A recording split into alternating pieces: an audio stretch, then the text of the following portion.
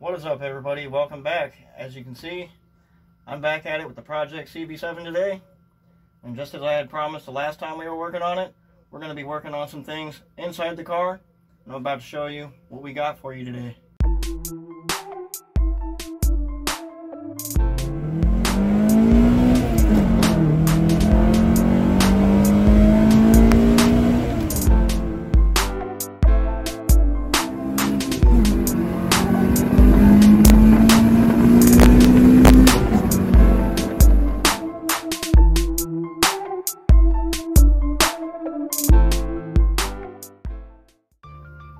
Time we had deloomed everything that belonged to the front portion of our body harness and I had stated that we were ready to move on to phase two of uh, doing our wire tuck.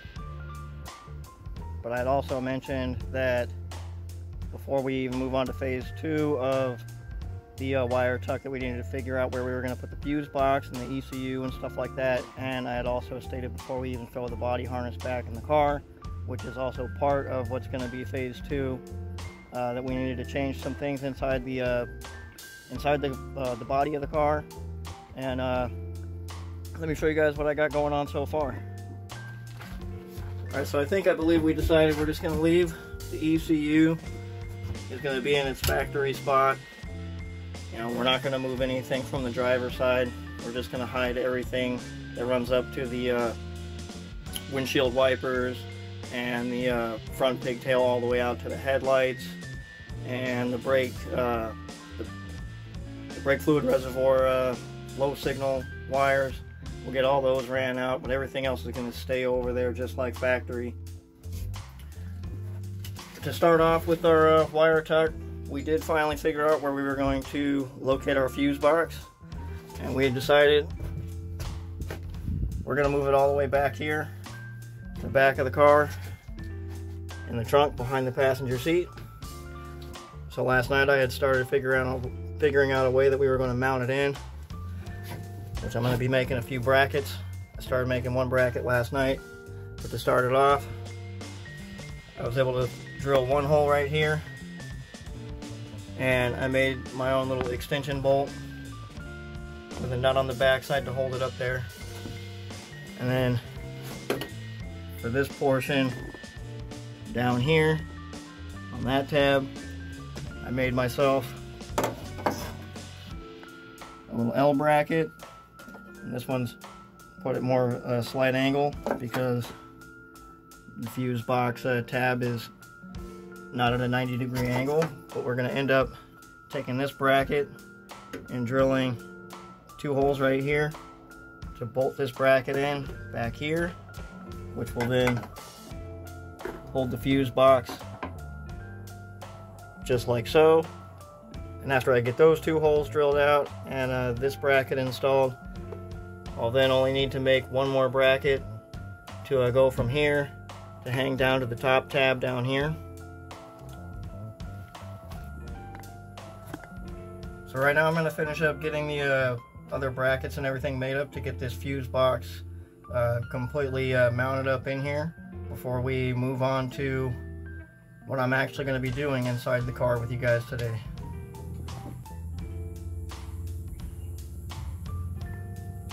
They're not the prettiest of brackets, but that turned out pretty good, in my opinion. I'm really happy with it. It's on there nice and solid. As long as none of the plastic ear tabs break off of this fuse box, we'll be good. It's going to work out perfect. We got the batteries going to be going in the trunk, so we'll be able to run the power wire from the battery down through under the deck and into the side of the fuse box, and then we'll be able to take the one for the alternator coming out, and we'll be able to run that one along the body of the car and out to the front. And then where everything plugs up into the back of the fuse box, we'll be able to run it just straight along the side here back down the uh, panel and then along the body line to the front of the car.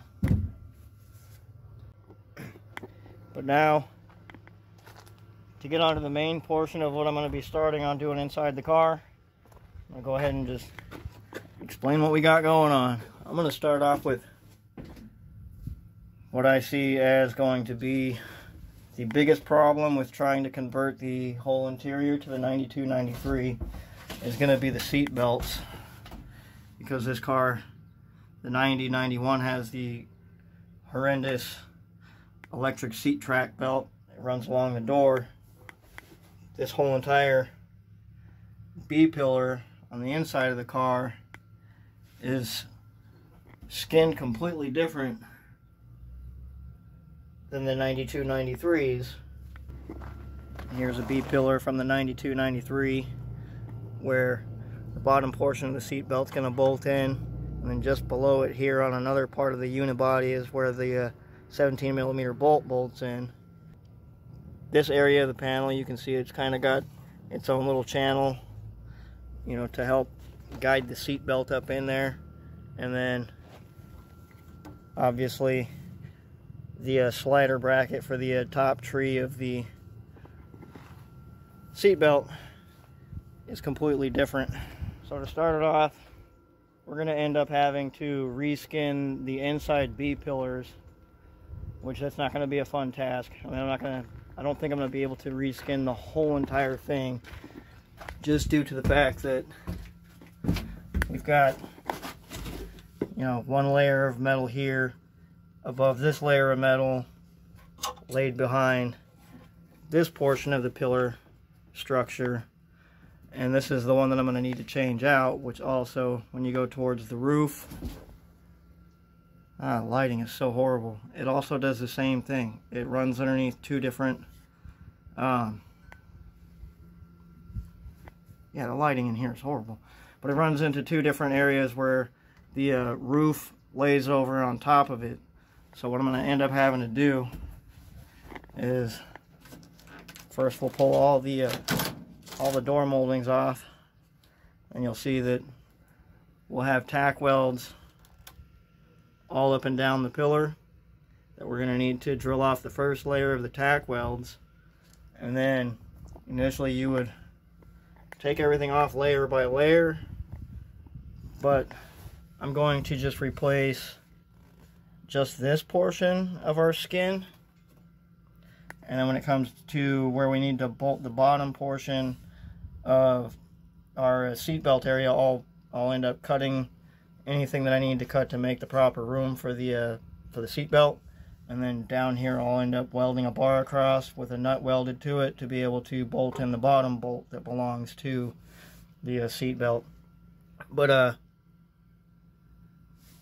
in order for me to uh, do what I'm going to do, I'm going to end up just taking the saw and cutting just this outer layer right at the skin where it layers over into the other one. I'll uh, cut it across right here. Same thing at the lowest one on the top. I'll cut it across here. We'll drill out all the tack welds. I'll remove this portion of the skin. I'll do the same thing for the replacement piece, which we're going to be replacing just from here and up. I will be able to tack weld everything all up into place this way and then where I ended up cutting it down here I'll be able to just seam weld it or stitch weld it whichever it's called back together at the bottom and at the top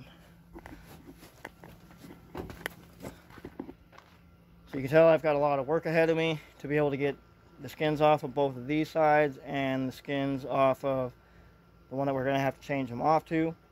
So I'm going to get out the uh, hammer and the punch and mark up every uh, tack weld that we're going to have to drill off and we'll go from there. All right, all these tack welds are going to be kind of a nightmare trying to uh, drill off.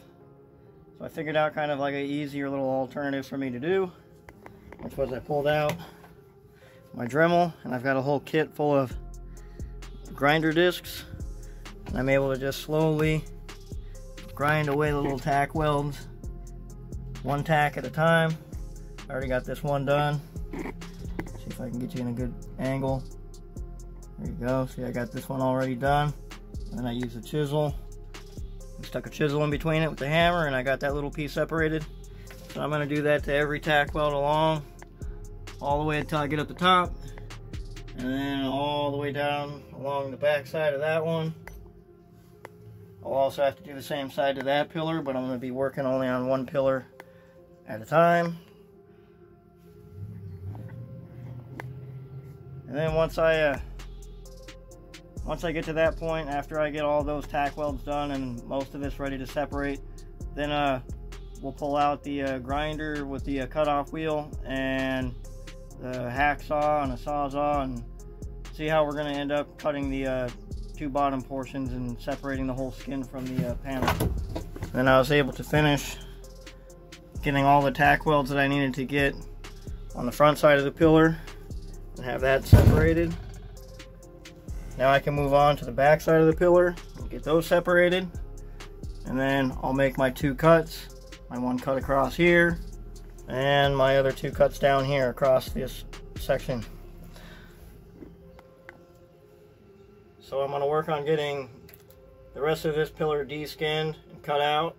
Then I will do the same thing to the replacement one that we're going to need to put up in here. And yeah, then we'll go from there. Well, you guys keep asking who this mystery girl is. Here she is. She's finally out here. Not being not being completely camera shy this day. Last night we sat down at the computer and she picked out herself a real kick-ass color that she's going to end up painting her engine bay. So while I'm inside the car working on grinding off all the tack welds to get this B pillar done up, she's over here breaking out the uh, sandpaper and she's getting the engine bay prepped and ready for us to get it primered. And when her paint gets here then we're to lay some paint. So all right so i spent pretty much all day today and at least half of my night last night drilling out and grinding off all the tack welds to this b pillar and finally, I have this one removed. Got the replacement one over here. I still need to drill this one off and peel that one off. Get it all cleaned up and ready to get welded up inside here. I'm gonna check on how much progress she's been making over here. She's really kicking some ass on getting this engine bay all sanded down and ready to get primered up in the next week. That way when we get our paint, it's a really awesome color, kick-ass color. Can't wait to get that paint color laid down into this engine bay. It's really going to start to come together after we get this engine bay done and these B-pillars done. Then we'll be able to actually throw the wire harness in, get the tuck actually going, and get this car put back together. Alright, so before I started drilling or doing any cutting onto what's going to be the new B-pillar skin, I laid the, uh, old B-pillar skin on top of what's going to be the new one to make sure that all my cuts were going to line up and everything where I needed to uh, make my cuts. And come to find out, when I line everything up, this cut's going to be the proper spot where I'm going to need to cut it for the top which is fine. But then down here towards the bottom, if you notice on my 1990, lined up to the 92, this piece on the 92 is a little bit taller than the uh, 9091. So what I'm going to end up having to do, instead of cutting this a little bit longer than I than I want, what I'm going to end up doing is just finish drilling off all the rest of the tack welds on this piece so I can get this whole entire piece of the skin and then inside the car I'll just have to on both sides here and here I'll have to grind down this weld this weld and drill out a few more tack welds to peel this back to get the rest of the uh, original B pillar skin out of there. And then I can slip the new one inside there with with the whole entire piece of the skin and have it match up here to the top where I'll need to lay my weld straight across the top. And then after that I'm only going to need to kind of make a little groove here up in the top of the final skin for the roof so I can weld in another nut that's going to belong for the uh, adjustable seat belt uh, thing.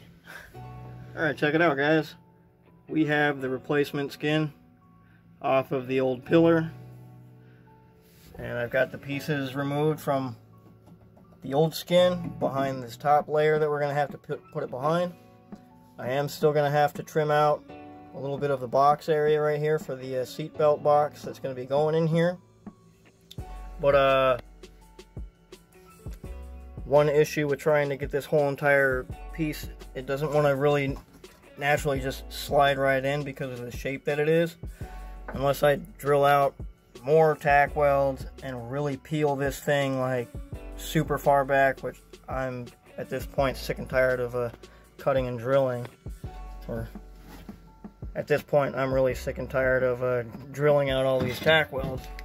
So what I'm going to end up doing, once I put the skin matched up here to the top, you can see how you can see how far down the skin would actually sit behind this first layer. So, what I'm going to end up doing after I trim everything out that I need to trim out over here, I'm going to, on the replacement skin, I'm just going to cut it, you know, this little extra bit off of it. I'm going to leave about a quarter of an inch lower to go behind the top layered skin for the door jamb and uh, it should fit nice and snug up in there at that point. Then I'll be able to make sure that everything lines up how I'm going to need it to line up. Figure out where all the tack welds are going to go, get it all cleaned, and ready to be welded up in there. And after that's done, I'll have to shave out a little bit up here to drill a hole right here to weld in a nut for the uh, rest of the seat belt slider. So I'm going to get to working on trimming out the rest of this piece and making sure that it fits in there the way I need to get it to fit. And uh, then we'll show you the final product once it's ready to uh, be tack welded on. Alright, so I spent a few hours over the last like week, week and a half each day uh, getting this pillar completely drilled off on uh, the replacement skin, the one on the car, as I've already just shown you guys that uh, I practically had it all ready to go and I needed to just clean all the paint and everything off of it. So I've got everything all ready, uh, cleaned up to the best that I'm going to be able to get this thing cleaned up. At least I think it's cleaned up good enough. And uh, let me show you guys what I got going on in here. As I have everything pretty much mocked up in place. I got my box cut open down here in the bottom. Down here, it's going to match up fairly, it looks like it matches up fairly decently where I've got it clamped together right now. Uh, down here in the corner of this box, I may still need to trim a little bit out from right here, but uh, I'm not really too worried about that at the moment. Uh, I've got it all mocked up in here. It looks like it's going to work and it's going to be good.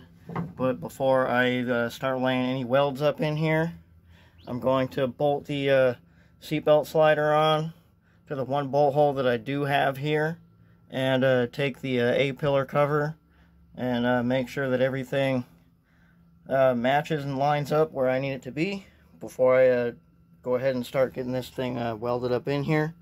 Then we'll tackle what's going on down here and get this side all completely finished up. Now we got the pillar covers on along with the it's going to be the uh, top tree of the sweet seat belt thing, you know, seat belt slider. It's not 100% uh, perfectly centered. I can't move it back any further because the uh,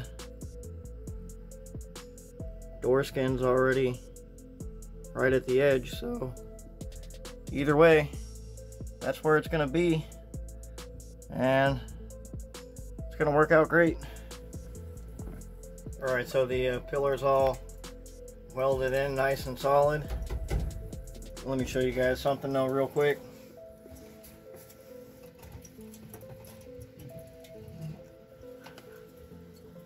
That welder right there that I have, that thing's pretty much as old as I am. It's uh, from 1982.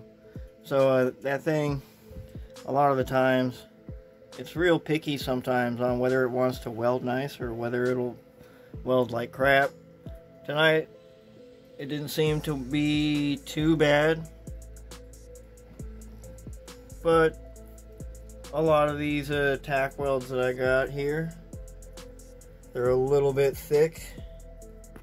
So we will have to pull out the grinder and clean those up a little bit. But uh, she's on there. Uh, she's on there pretty good. So once we get the uh, welds all cleaned up, I can then shave out the piece that I need to right here.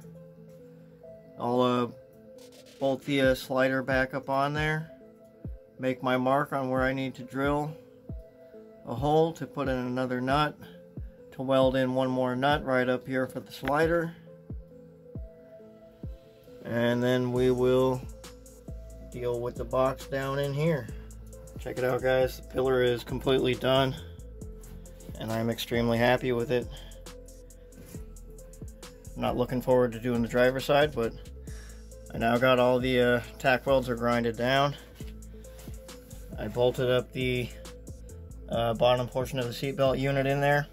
I ended up having to trim more out. So I ended up cutting along the whole seam line down here and then made my straight cuts to be able to fit the box in. And then as you can see, I used a couple pieces of one inch uh, flat strap and got these things welded up in here real nice. But uh, before I got these welded in, I uh, marked my spots where I needed to make the uh, hole and a uh, nut welded on the back side of both of these. One for the uh, whole seat belt piece and the secondary one for where the other portion of the seat belt bolts to the chassis of the car. And just like I was mentioning, before. Now we got a good shot with the light here in the dark. I was able to shave this piece out. Initially recreating, you know, the skin that the 9293 has. Got a uh, 12 millimeter nut welded up in here that I uh, had bolted the unit in to uh, mark where I needed to drill and uh, weld this thing in at. So Initially, all that's left at this moment is for me to uh, put the uh, A-pillar, B-pillar cover on and uh, bolt all the uh, seatbelt on so you guys can see what the uh, whole finished, uh, what this whole finished side looks like.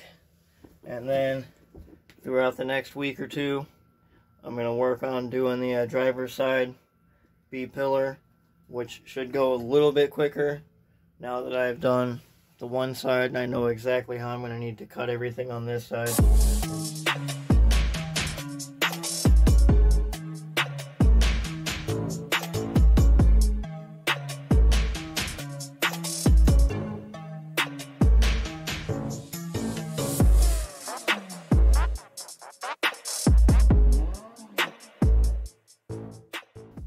I think we made some pretty good progress on the uh, Project CB over the last few weeks. Danielle's got the uh, the whole engine bay completely uh, sanded down and pretty much ready for us to uh, get primed and painted. We got the engine fuse box is relocated back to the trunk and mounted in. I'm really happy with the way that this uh, B-pillar turned out for our seat belt on the uh, passenger side. I mean, to you guys, probably looked like I knew exactly what it was I was doing, but uh, honestly, I was just kind of winging it just based off of everything you know that I've learned over the years working at the salvage yards. I knew that I was going to have to drill out a bunch of tack welds and peel off these body panels and fit everything together. And uh, it worked out great. I'm really happy with the way it turned out. Uh, the driver's side shouldn't take me nearly as long now that I've done the one side and I'm going to know exactly what I need to do to get that side done. So think that's going to do it for this one. Thank you guys for watching. Do the whole YouTube deal. I'm Zach. This is Woodstocks. Until next time, guys. Peace out.